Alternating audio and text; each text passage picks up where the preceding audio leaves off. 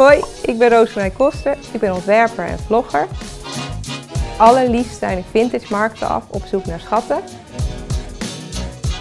Alles wat ik hier vind ga ik thuis nog even updaten. En omdat dit zo leuk en makkelijk is, ga ik jullie laten zien hoe je dat zelf kan doen.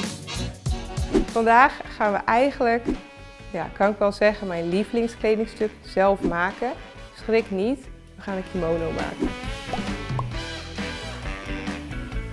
Klinkt heel moeilijk, maar ik ga jullie echt stap voor stap laten zien hoe eenvoudig het patroon van een kimono eigenlijk is. En hoe gaaf het is dat je hele mooie eigen stof kan kiezen, eigen kleur en eigen model ook. We gaan vandaag een kimono maken.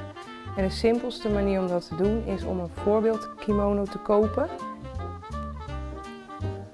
Deze heb ik vintage gekocht, maar ik denk dat je ook bijvoorbeeld bij de H&M of bij de Zeeman zo'n ochtendjasje of zoiets kan kopen. Als je het model goed vindt, dan kan je hem gewoon overtrekken. Het is eigenlijk echt zo eenvoudig als het ook lijkt. Nou ja, niet om. Kijk, voor mij is het eenvoudig natuurlijk, maar ik hoop voor jullie ook. Dat je legt de kimono plat op het patroontekenpapier. En dan zorg ik dat de hoekjes haaks zijn, want dat gaat me zo meteen ontzettend helpen. Langs de middenvoor van de kimono loopt een baan en dat is straks een hele mooie afwerking voor de voorkant. Dus dit is eigenlijk een hele lange strook stof die dubbel gaat en de binnenkant afwerkt. Dus dat ga ik ook overnemen. Dus het voorpand, het achterpand en deze baan, dat is het complete patroon van deze kimono.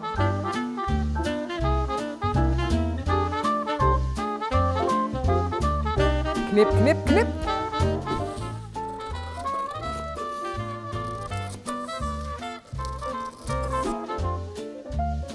Hier, zorgen dat die lekker matcht. Ik begin altijd met de hoekjes. Dit is ook eigenlijk weer zo'n geduldig werkje. Hoe meer spel, hoe beter. Oh, dan zet ik eerst even deze lekker vast. Eigenlijk heb ik wat extra stof gekocht, zodat ik ook nog een hoofdband kan maken. Deze stof werkt heel lekker. Ik haalde het papier weer van de stof af. Dan heb je een patroon voor life. Dan kan je nog 100 kimono's maken als je wil. Of het uitlenen aan een vriendin. Die band die hier voorloopt, die krijgt hier midden achter een naadje. Dus die heb ik hier gespeld. Dus dit is het achterpand. Dus je ziet nu al helemaal de shape van de kimono. Je kan al de mouw, zijkant en bovenkant spelden van beide kanten. Dan ga ik het stikken en daarna zet ik die band doorheen. En dan ga ik de zoom afwerken. Zomen of zooms? Ik weet niet. Uh, nu eigenlijk het enige wat je nu gaat doen is eindeloos hoeveelheid speltjes erin steken. Okay. spoeltje is gevuld. Dus we gaan nu deze mooie metallic shiny stof in elkaar zetten.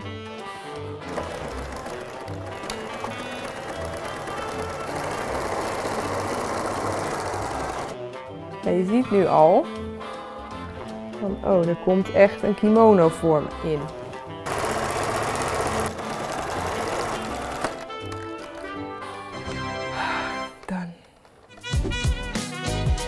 Toch echt meteen echt een kimono. Kijk, ik was nog bang van ja, als je zo'n rare stof gaat doen, wordt het hem dan wel. Ik vind het echt super, super tof. En chic. Door precies, nu zie je wat die band doet. Dat maakt echt van een vierkante lap, maakt dat een kimono.